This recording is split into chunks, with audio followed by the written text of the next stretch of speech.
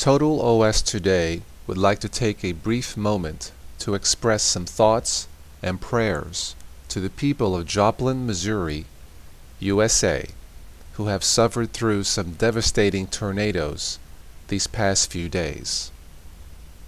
May you find the peace and the strength to carry on and rebuild. Amen.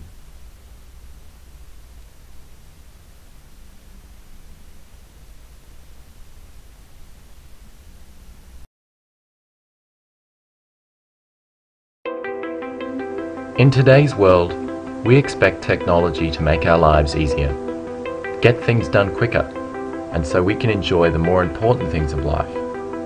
That's why we created an operating system that does exactly that, and we called it Ubuntu. We believe in fast, effective computing for everyone. Created by the open source community and Canonical, Ubuntu is free to use and share at home and in business. Ubuntu is and will always be absolutely free. Thousands of apps, millions of users. Discover why. Ubuntu, humanity towards others.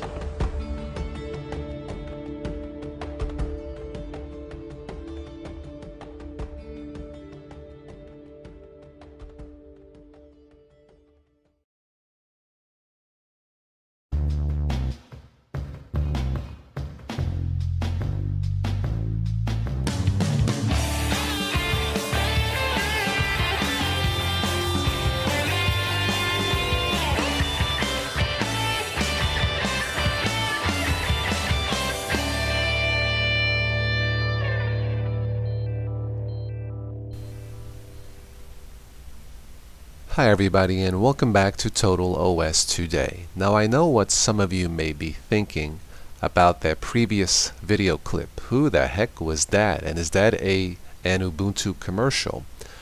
Well, that clip, a shortened clip, is from my friend at YouTube channel Infinitely Galactic. If you haven't already checked it out, please do so. Uh, he's had the channel a little bit less than a year, not a lot of videos, about 30, but it doesn't matter. All of them are excellent. Uh, a friend of mine from Australia runs the channel, and he has promised me a video on Linux versus Windows that I am looking forward to it. But that clip you saw was basically something he created, a basically a fake Ubuntu commercial that actually I thought looked and looks still um, pretty good. So check it out. I found it appropriate to include that because at the end he does say Ubuntu humanity towards others and considering what's been happening here to some of the people here you know in the states with the storms and the uh, tornadoes I just thought that was a fitting clip to add after the intro then just add my musical introduction after that Okay, well, this video is about my uh, video diary, a three-day journey through Ubuntu 11.04 with the Unity Unity interface desktop. Overall, um, it ran pretty good. I was impressed. As a Windows user, I thought it ran pretty good. No crashes, except for the few minor bugs which you will see here coming up. Uh, I thought Canonical did a pretty good job in releasing this version of Ubuntu as it stands. It could use some minor tweaks and tune-ups. Again, you will see that in the up upcoming video, but this is my journey, my video diary through the new Natty Narwhal with Unity. So enjoy it, and as always, I will catch you sometime in the future.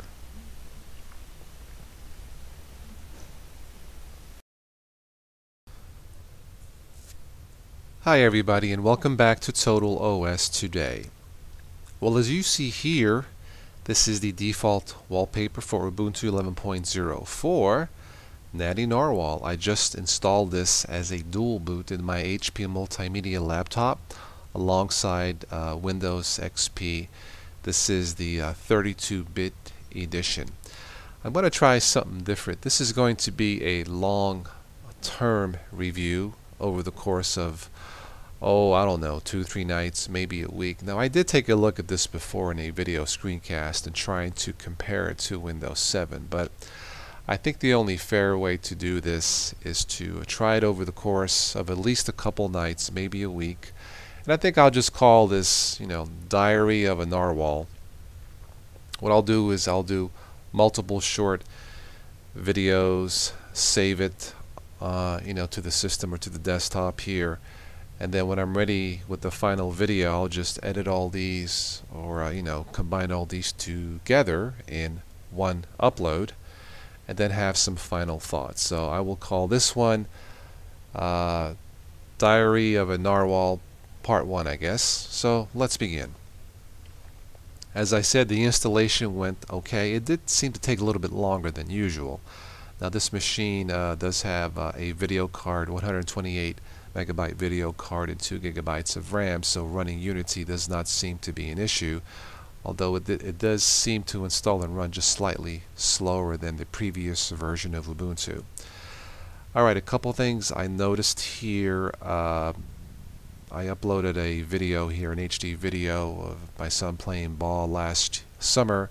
HD videos continues to be a problem in Linux, at least for me, uh, at least with the default media players. I'm going to try this maybe tomorrow or next day with VLC and see what happens.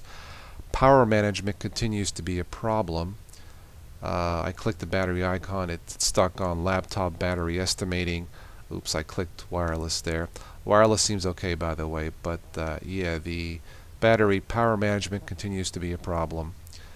Uh, let's see, what else have I noticed? I don't care for the global menu here at the top and I really kind of find it annoying that I cannot uh, right click on the top panel bar and add applets uh, add applications applets or move the panel bar to the uh, bottom if I so choose to and I think I did mention that before.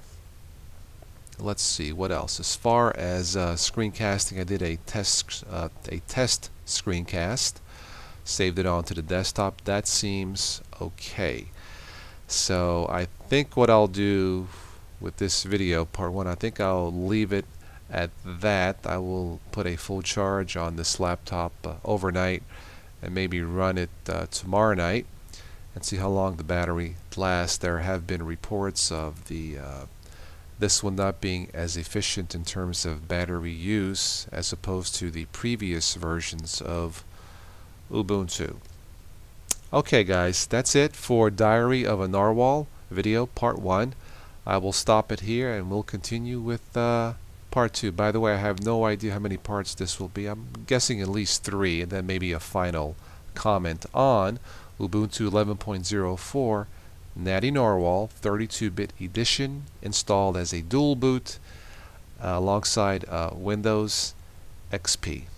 Okay, that that's it for this.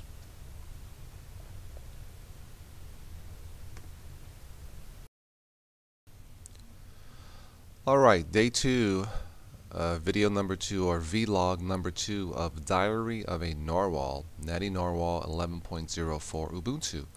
Natty Narwhal is nuts, at least when it comes to power management. I downloaded, installed all the updates. There is an issue still laptop battery estimating it's still stuck on there. So I downloaded this um, power this uh, widget battery monitor a screenlet actually it's called. And I noticed at the 12 minute mark when it said 12 minutes remaining I actually had almost 40 minutes. I'm not sure why battery management power management is still an issue here in the year 2011 this is kind of disappointing.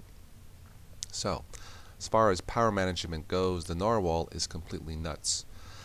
Uh, let's see, I had to download VLC to play the HD videos that I have. The default media players, at least for me, for HD, are completely worthless. Uh, what else did I download last night? Oh yeah, a program called Easy Shutdown. Now what this is, this is a timer, a shutdown countdown timer to shut off your computer. For example, let's say you wanted to fall asleep to some music as I did last night. You can set the hours, minutes, and seconds here. I tested it this last night and it worked flawlessly. And so far, short time I've had Natty installed alongside Windows XP, it appears to be stable. So power management still an issue. It's nuts. I don't know why. And my HD videos are now playing with uh, after downloading and installing VLC. Alright, well that's it for vlog number two.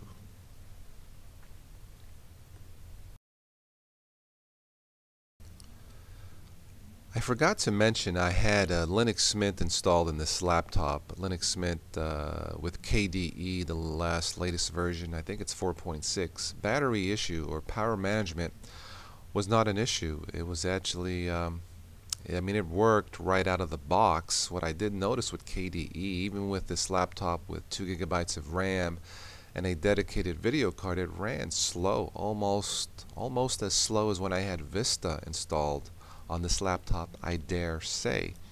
But out of the box, Linux Mint KDE worked. Uh, power management worked fine. A little bit on the slow side. That's why I uh, deleted it. Uh, I think um, KDE looks great.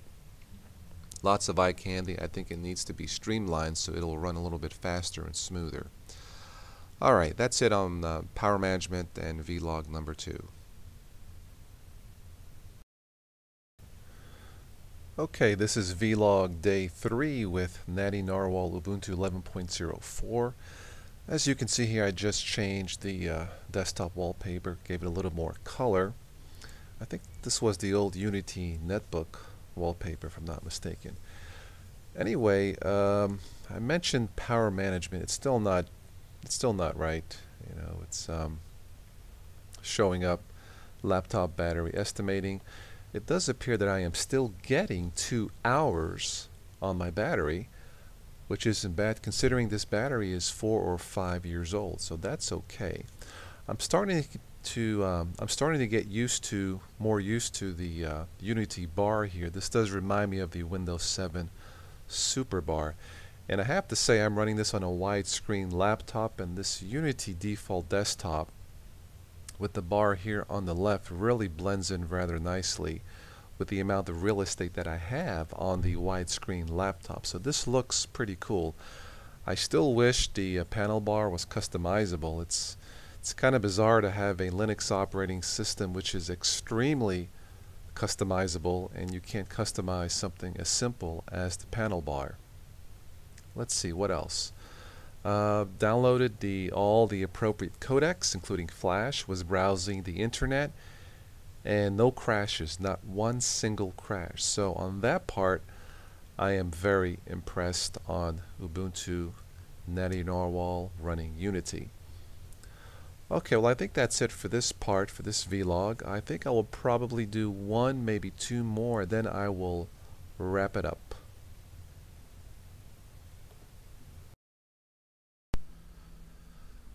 Okay, this will probably be the last uh, video blog vlog for Ubuntu 11.04 Natty Narwhal with Unity.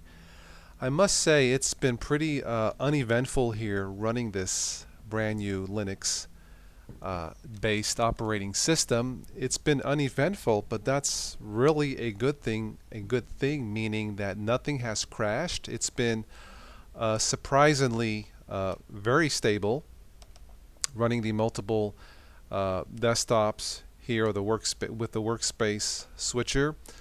Uh, as far as running the apps, I've had no issues whatsoever.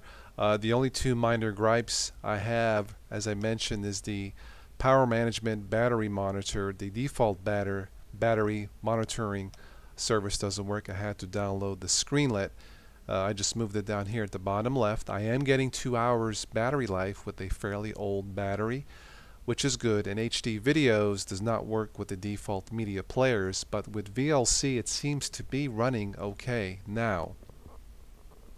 Is this going to convince uh, many Windows users to switch? Apparently this is uh, this is Canonical's goal is to attract as many Windows users as possible. Um, as a Windows user, let me say that navigating through this has been uh, fairly easy.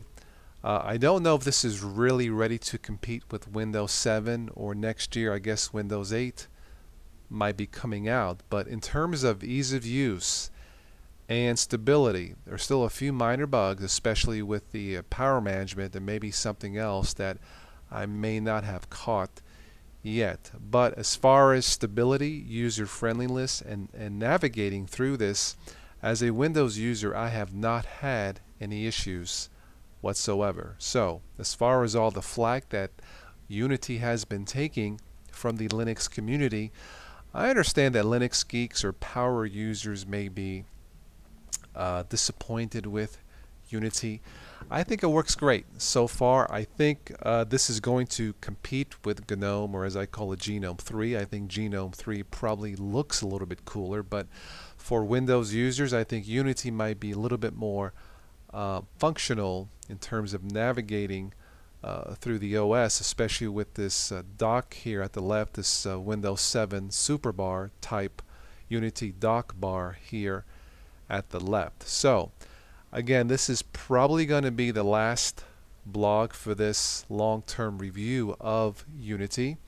Uh, what I'm going to do now is download uh, uh, some video editing software for Linux and put these videos together. So unless something happens, let me just say that as a Windows dual booter, right now I give Unity a uh, thumbs up. So that's it. Thank you for watching this edition of Total OS today. And as always, I will catch you sometime in your Linux future. Thanks. Bye.